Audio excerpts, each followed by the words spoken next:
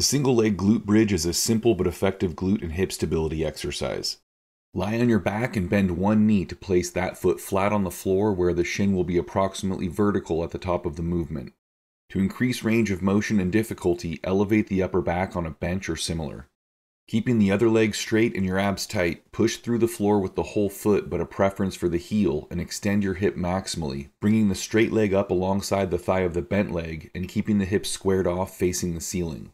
Consciously focus on active glute contraction and tight abs to ensure the motion is at the hip and not excessive lumbar extension. Return to the floor under control. It's a good practice to hold the final rep of each set at the top for a few seconds. Resistance can be added by holding a dumbbell or similar in the lap. You can get more info on this exercise, find related exercises, and see hundreds more in my free weightlifting exercise library at catalystathletics.com.